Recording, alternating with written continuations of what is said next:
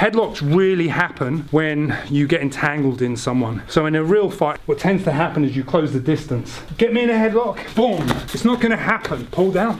Pull down, I'm trying to. Why is it hard? Why is it hard, Nick? Because you're trying to, trying to punch me with that hand. Try to put, come on, pull, pull. I can't. Right, but I've got this spree now, haven't I? So I'll be hitting Smashing. Hitting, hitting Yes. You've got to get in there, stop the guy from connecting his hands, beat them up.